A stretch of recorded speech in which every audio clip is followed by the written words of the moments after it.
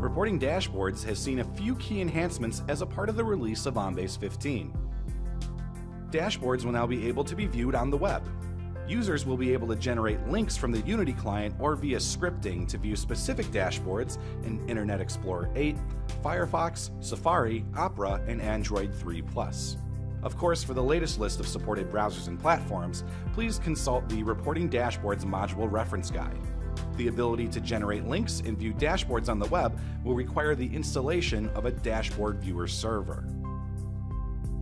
The dashboard viewer server will retain the results list and render the dashboards for each user logged in. Because of this, it is recommended that the dashboard viewer be installed on its own dedicated hardware. It can be located anywhere on the network and is installed using a simple installer, just like any other OnBase server.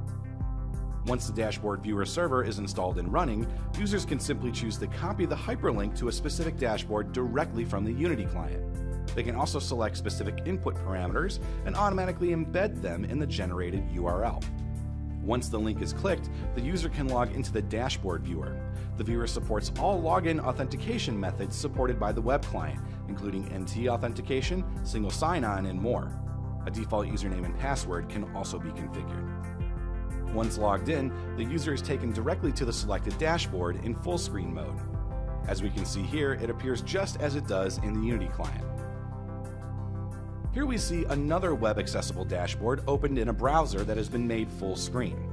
These web accessible dashboards can be embedded in intranet pages, via SharePoint, or even displayed on a large LCD monitor, allowing the members of a specific team or department or even an entire organization to monitor thresholds, averages, and other metrics for critical business processes.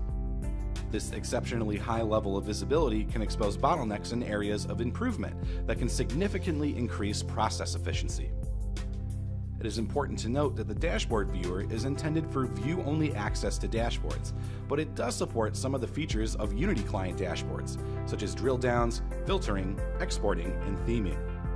However, the dashboard viewer does not support any display actions, any modifying of input parameters, or the dashboard itself, and more listed here.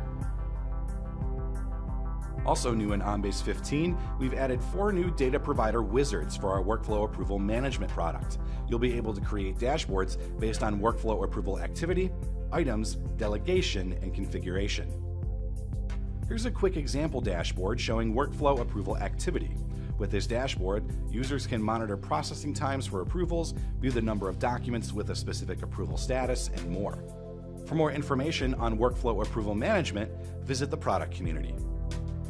And for more information on these and all of the other enhancements in OnBase 15, please visit the OnBase community.